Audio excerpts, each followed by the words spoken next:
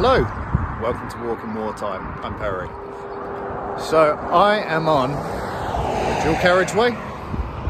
Well, stopped by a dual carriageway anyway. In Rushden, and this dual carriageway is called Liberty Way. And you may be wondering why it's called Liberty Way. Uh, it is because of the B17 Miss Liberty Belle.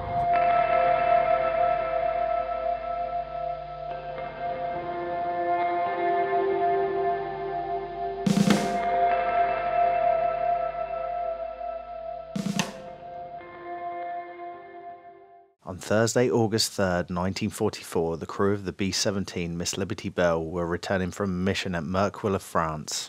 They tried to make an emergency landing at Chelveston. Due to the severity of damage to the plane, they decided to sacrifice themselves to save the village of Wymington. The bomber had lost two engines, the third was on fire, and the fourth still at full power. The plane almost managed to clear Wymington.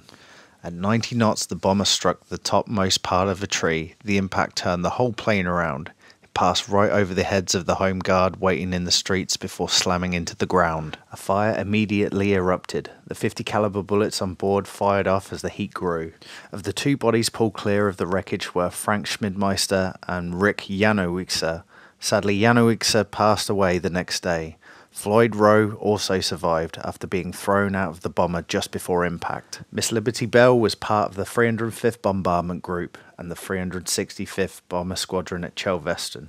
The crew were Tom Barnett, pilot, Roland Wing, co pilot, Eugene Bonas, bombardier, John Rutherford, navigator, Floyd Rowe, flight engineer, Francie Smitty Schmidmeister, waist gunner, Rick Murph, Janowitzer, ball turret gunner, Chuck Red Naden, tail gunner, Robert Cornier, waist gunner.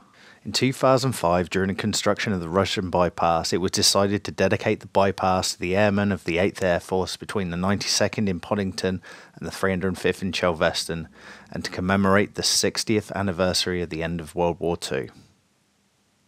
So if we look over that way, that's Chelveston. Go that way is Wymington and Podington.